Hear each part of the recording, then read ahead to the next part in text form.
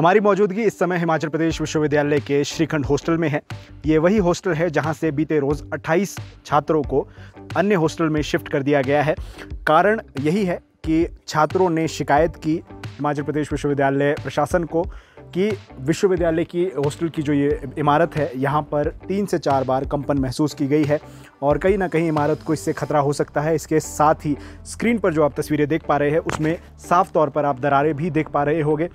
ये भवनों में दरारों का सिलसिला जिस तरह से शिमला में इमारतों को बनाया गया है और कई साल पुरानी ये जो इमारतें हैं, उसकी वजह से भी यहाँ पर जो दरारें हैं, वो अमूमन देखने को मिलती है।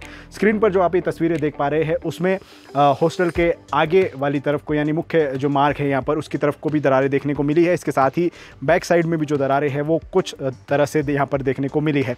तो ये श्रीखंड हॉस्टल है और यहाँ से बच्चों को जो शिफ्ट किया गया है, वो डॉक्टर यशवंत सिंह परमार हॉस्टल के लिए यहाँ से शिफ्ट कर दिया गया है। अट्ठाईस बच्चों की सूची बीते बीते दिन हिमाचल प्रदेश विश्वविद्यालय ने यहाँ पर जारी की थी। और अब अगर बात की जाए तो इसे लेकर हिमाचल प्रदेश विश्वविद्यालय के जो चीफ वार्डन हैं, डॉक्टर रोशन लाल जिंटा, उनसे हमने बातचीत की है। उन्होंने कहा है कि बच्चों को उनकी सुरक्षा के मद्देनज़र यहाँ से शिफ्ट किया गया है। और उसी के साथ ही जो पूरी सुरक्षा है वो बच्चों की यहाँ पर उसका ध्यान रखा जाएगा। और इसके साथ ही जो बच्चों को अन्य सेफ़ जो सुविधाएँ हैं वो भी यहाँ पर विश्वविद्यालय के माध्यम से दी जाएगी। आइए जानते हैं डॉक्टर रोशन लाल जिंटा ने इसे लेकर क्या कहा है। हाँ मैं आपको ये बताना चाहता हूँ कि श्रीखंड के जो छात्रावास में छात्र रह रहे थे, उन्होंने मुझे ये बताया कि पिछले दस दिन में तीन बार जो हॉस्टल कंपन की घटना उन्हें महसूस हुई है।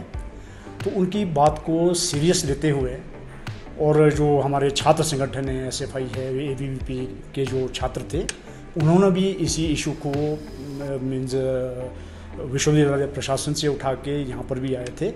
तो उनकी बात में भी हमने गौर करके हमने प्रायोरिटी के बेसिस पर माननीय कुलपति महोदय से परमिशन लेके हॉस्टलों को, श्रीखंड छात्रावास के छात्रों को वहाँ से शिफ्ट करके डॉक्टर यशवंत सिंह परमार हॉस्टल भेजा है, ताकि वो पढ़ाई के साथ साथ सुरक्षित महसूस कर पाए।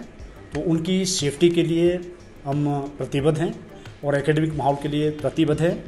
हॉस्टल में शांति रहे मीन्स लॉ एंड ऑर्डर बना रहें उसके लिए हम पेपरलेस मुहिम की तरफ़ भी आगे बढ़े हैं। डिजिटल कार्ड हमने तैयार कर दिए हैं। तो वो हमारा ई e का ये कंपोनेंट है। हम डिजिटल कार्ड इस बार फ्री ऑफ़ कॉस्ट बच्चों को देने जा रहे हैं। तो फ़र्स्ट टाइम ऐसा हो रहा है कि यूनिवर्सिटी का लाखों, एक लाख रुपए कम से कम एक साल का बचेगा। तो तो बच्चों को जितने, बच्चों के साथ साथ जितना हॉस्टल का स्टाफ है वार्डन है, चाहे कोई चीफ वार्डन है या हमारा जो चीफ वार्डन ऑफ़िस का स्टाफ है, इन्हें भी हम डिजिटल कार्ड प्रोवाइड कर रहे हैं।